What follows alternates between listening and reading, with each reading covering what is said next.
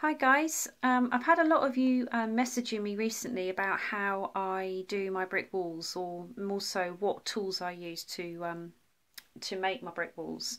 Um, so what I thought I'd do is a really quick tutorial um, just to show you how I do it. Um, there may be other ways of doing it but this is the way that I do it. basically all the tools that you'll need just to make a, a basic brick wall is metal ruler, your foam, um, a scalpel type knife like this one, um, felt tip pen and a biro and perhaps a pencil as well. Okay, the reason I use a felt tip pen is because if I'm marking out the foam it doesn't make any indentations into the into the foam. Okay, so basically on this piece here I have made a, a very rough uh, brick layout for you. Um, normally when I do it I measure it properly for my scale this is very very rough as you can see. And um, so I've done that on here. And what I'm going to do is I'm going to score on the lines that I've made okay? And when I do my brickwork I always score along these lines first okay?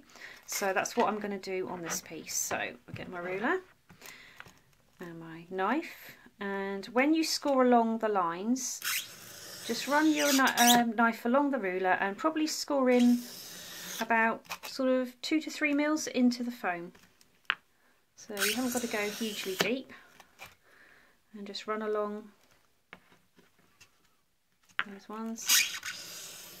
Ooh, this is very, very rough, purely because the piece is a bit too small for me to be doing this on, but hey ho, you get the idea. Right, okay, so I've done my lines uh, downwards, and then what I'll do then is I take a biro with a little with a obviously the bit on the end there. And what I do is I run the biro along the lines I've just scored. And you will find that your biro tip will just run nicely along the lines without going wibbly wobbly. Okay? So you can see there where I've scored into the foam and then I do my ones that go down now, on a 112 scale, I would measure out my distances between my, my bricks and then I tend to freehand the lines. Um, on a bigger scale, for the 1 6 scale, I do tend to use a long ruler because that's a big piece to um, to keep in line. So if it was 1 12 scale, I tend to freehand it once I've measured. So I'll just do that a minute. So we're going down the down the brickwork now. So I'm just running my, again, my knife in about two to three mils into the foam and I'm doing this a lot quicker than I normally do this. I do take a bit more time normally. okay, nearly done. Okay, so done all my down lines and now again I'm going to use my biro and I'm going to score into the lines I've just made. Again, you can go as deep as you want to with the biro. Depends on how deep you want the, the gaps to be. Um, on the piece to here whoop, that I'm working on, um, I'm actually going to be putting like a type of pointing into those ones. I'm going to be using um, Polyfilla to go into gaps. So I've actually made those quite deep and quite thick, but these, you know, you don't have to do that. Um, you see a lot of my work, I don't actually do that.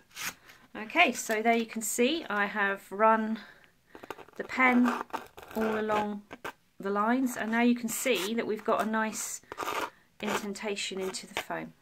Okay, and then what you can do if you want to, once you've made your wall, if you want to rough it up, you can take chunks out of your brick.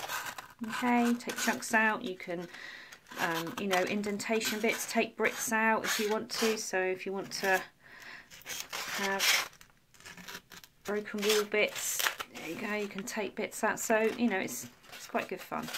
Okay, so that's basically the basics of how I do it. And uh, I hope that's been helpful. Okay.